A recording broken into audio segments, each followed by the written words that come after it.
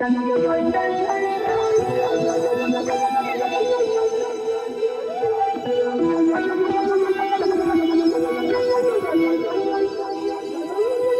What's up, everybody? It's CMP with Craftmaster Productions and StudioOneTutorials.com. Don't forget to stop by Studio One Tutorials and pick up your premium membership. It is 50 cents a day. And don't forget to stop by Studio One Tutorials and grab Arrangement Arsenal 10 of the most current hit song arrangements broken down on the timeline for you.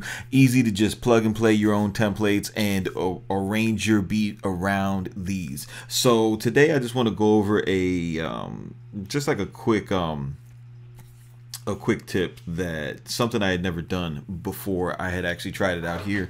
Now I have this sample and I was just I was just listening to a vibing.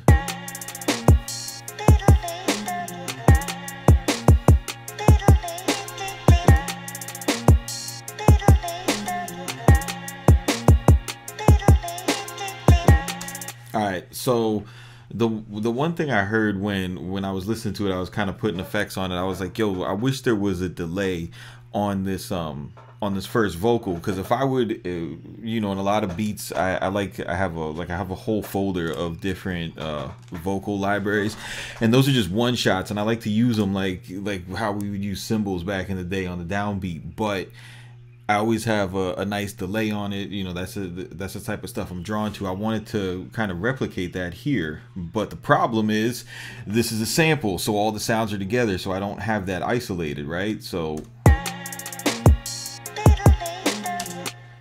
I was like, you know what? Let me just let me just go ahead and chop that that piece right there. So I just duplicated the track. Um, inserted, you know, inserted this like it was an actual vocal chop sample. Now here is where the uh, is where the trick comes in, right? So I don't want the sample to be louder than what it is by duplicating by duplicating this. So what I did was if you turn the fader down and you hit this button on on your send, um, you know, because I run my delay on the, on my sends, if you hit this button, it will still even if you have the volume all the way down, the sound will still send to your um to the aux track that has the echo on it. So now you get this.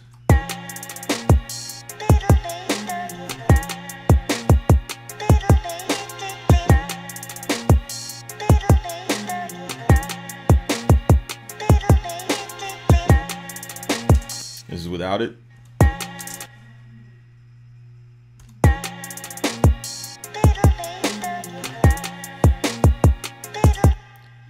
With it.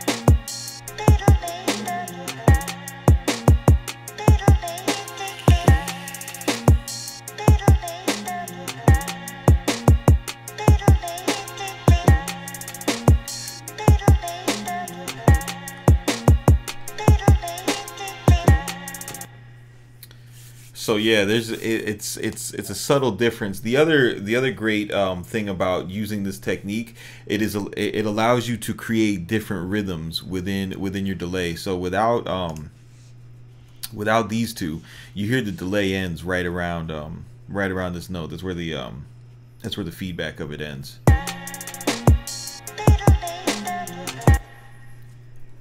but when you drop one when you drop one right here it allows you to add you know another another um another delay um before the turnaround of this note. Just adds a nice swing to it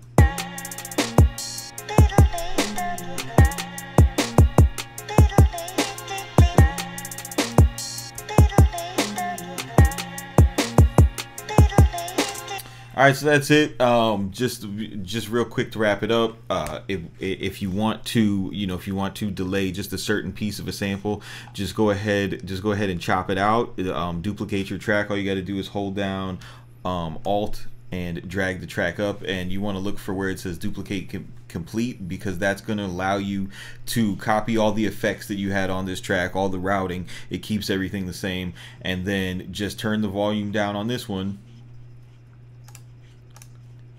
and click this button right here to um to you know to turn pre-fader off once you see it's yellow that's how you know that's how you know you're good and then just adjust the uh, the volume of your scent to taste. So it's a CMP with Craftmaster Production Studio One Tutorials.com. Keep it simple, don't be basic, and we will see you on the next one.